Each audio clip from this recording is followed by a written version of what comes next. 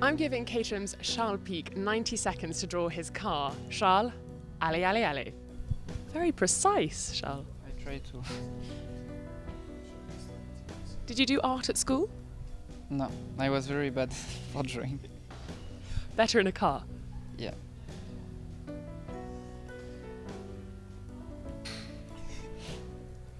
What's happening?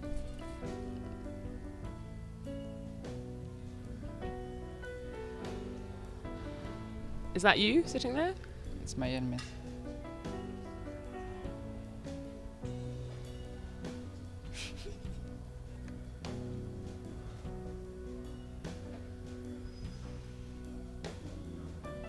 I think you might be a bit of a perfectionist.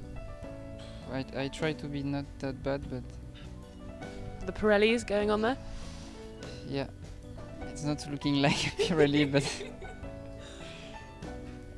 Uh, Would you choose soft? Which colour tyre?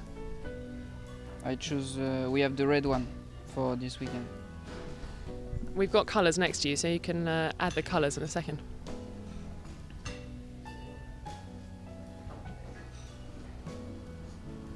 You've had about a minute. So I have 30 seconds left. Yeah, maybe I might be a bit lenient with you.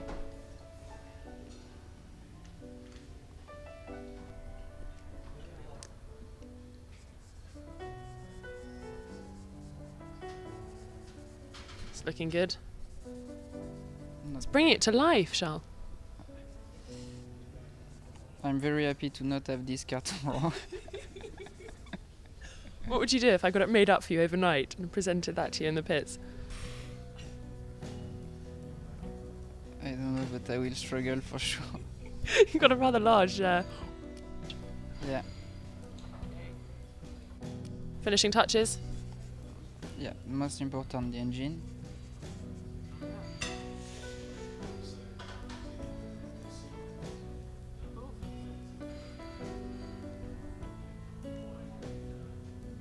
Anything else you'd like to add?